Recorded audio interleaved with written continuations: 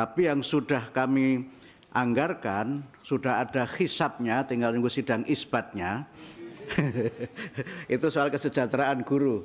Tapi jumlahnya nanti ditunggu saja karena sidang isbatnya belum dilaksanakan.